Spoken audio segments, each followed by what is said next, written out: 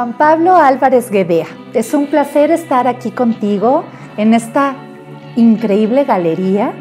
Bueno, yo me pregunto, seguramente has sido amante del arte todo el tiempo, toda tu vida, y así fue, yo creo, como se te ocurrió montar este precioso lugar. Pues mira, es mi, mi pasión, mi principal hobby, este, y entonces lo quise transmitir a la gente, ¿no? Y bueno, pues qué mejor que tratarlo de hacer un negocio y montar una galería con esto que para mí es una diversión. Seguramente aquí en la ciudad de León pues habrá algunas galerías, pero ¿cuál es la diferencia entre artes, galería y antigüedades? ¿Cuál es tu propuesta?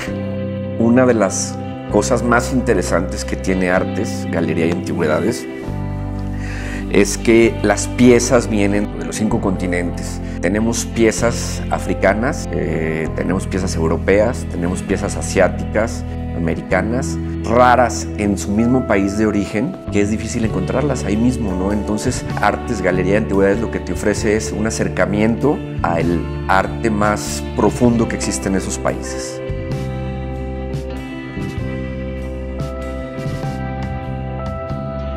Una de las piezas que a mí más me apasiona y que, se me hacen más interesantes de la galería es este busto en granito que es del rey Jayavarman VII, un rey camboyano. Fue el rey que hizo Angkor.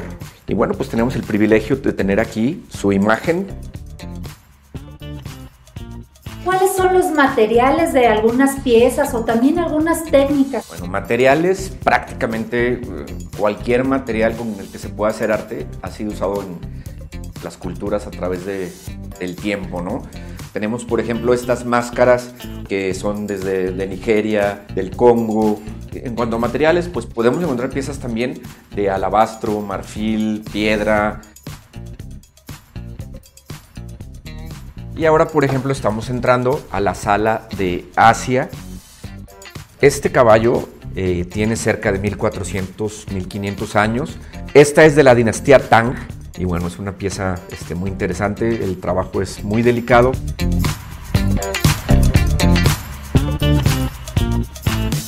Nos vamos encantados, nos diste un recorrido por el mundo, podemos llamarlo así. Con mucho y pues de verdad muy agradecidos por este espacio. Un gusto. Aquí esté en su casa.